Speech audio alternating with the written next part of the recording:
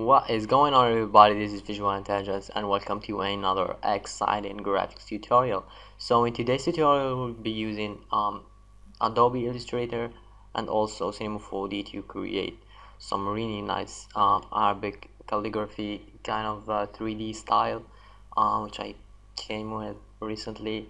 Someone asked me how to make this kind of effect so if you, anybody else is interested which I'm sure there is um, let's actually uh, go ahead and uh, search for calligraphy to kind of make it 3D and uh, um, add some materials to it and make it look a lot better. So what I have here is on freeislamiccalligraphy.com uh, I found this really nice uh, image so I guess I can work with it. So what I want to do is we want to right click and then copy image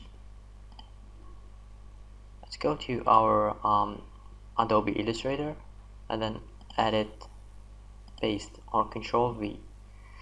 So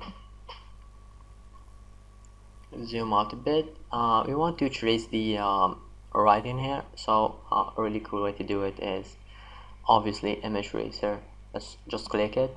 The default um, settings are okay. We just want to um, mess with them a bit. So uh, let's bring the image tracer panel. Let's go with advanced. Let's see. Maybe we want uh, 76 75 percent corners.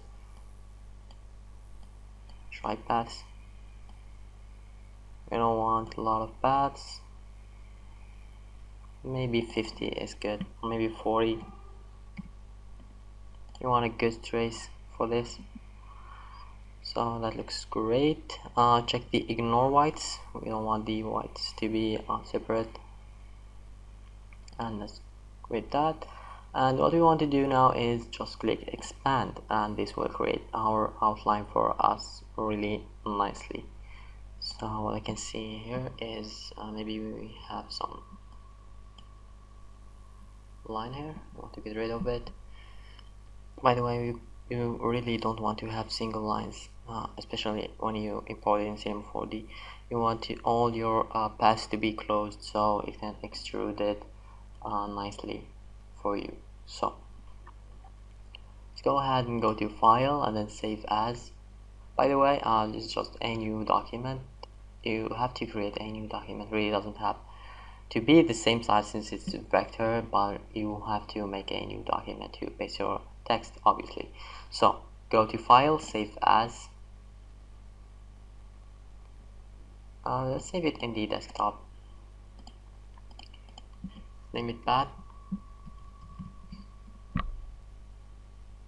save. And the format here is has has to be illustrator 8 uh, or else uh, other or else cinema 4d won't, uh, recognize it so make sure it's an illustrator 8 document.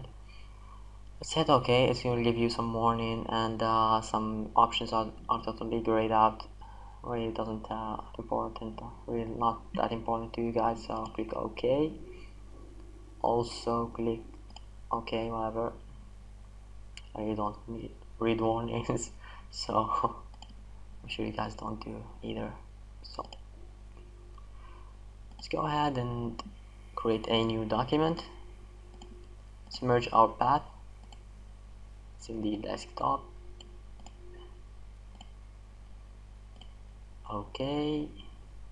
Let's go to our path and then click PSR uh, reset. And this will make it in the exact center. If you don't have it just click shift C and to bring this command to you uh, just type reset PSR and uh, you're gonna have it. So um, yeah.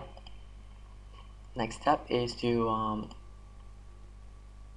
remove the parts that we really don't need. Maybe this one is not closed so we don't want to have it let's make this individual. Let's make it out of our that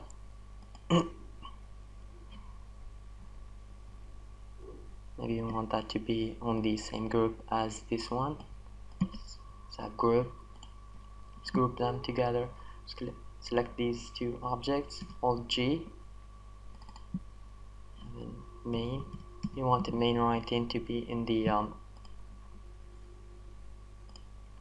we want the main writing to be white and the uh, dots to be red or some other color so we want to have two main groups so that's what I'm going for. And uh, this looks great in my opinion. So let's go ahead and add a uh, connect object to the first one and uh, another connect object to the second one.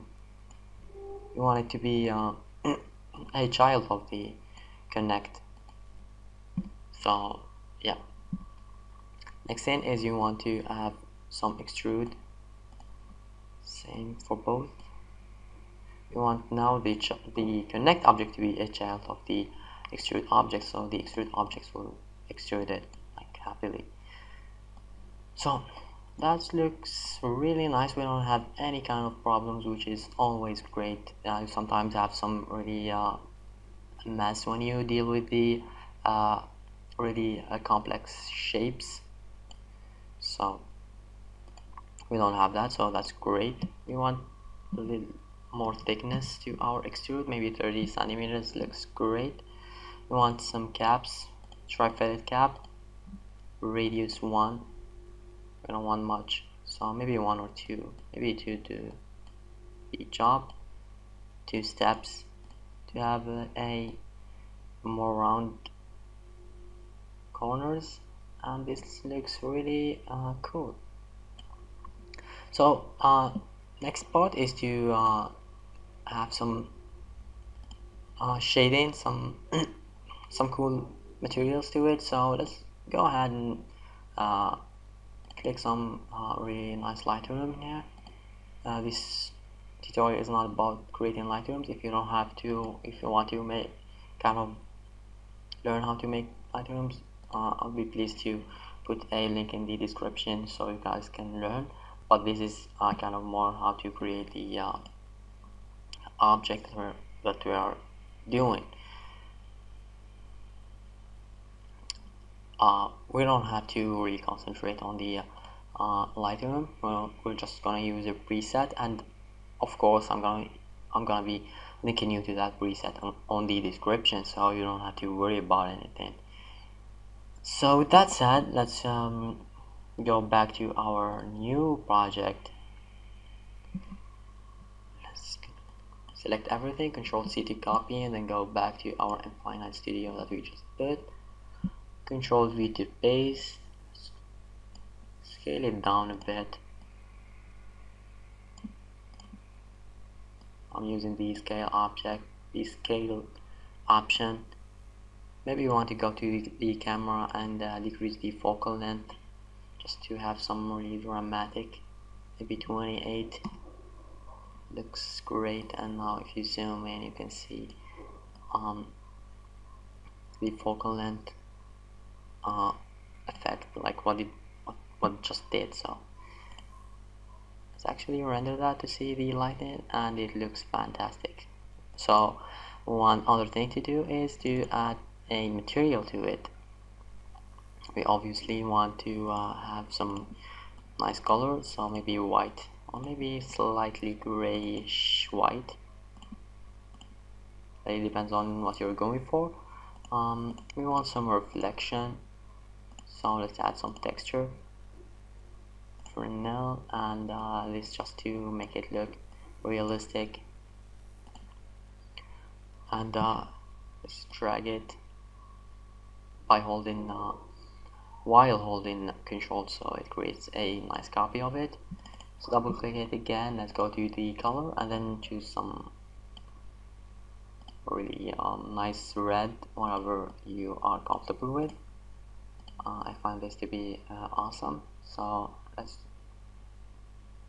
drag the red object on the um, little parts group and the white object on the big parts group. So let's actually give that a render just to see how that will look. And uh, as you can see it looks really nice. You can zoom out a bit to see and um, it looks fantastic in my opinion.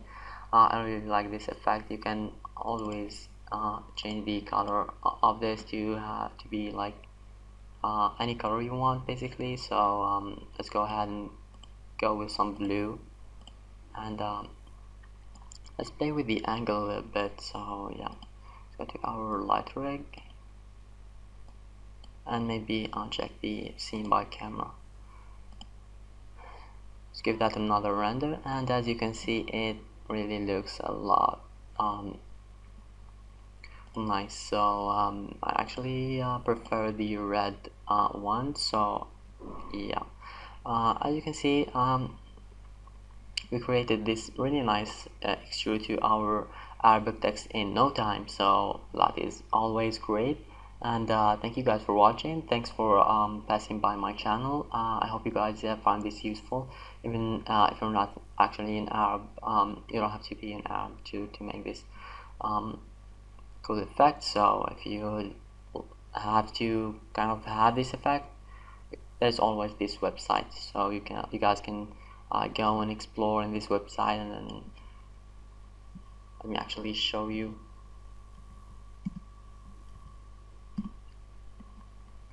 and, and, it has a lot of uh, cool uh, calligraphy art calligraphy. So you guys can find this uh, website useful. I'll be linking you to it in the description? You can choose whatever uh, path you want.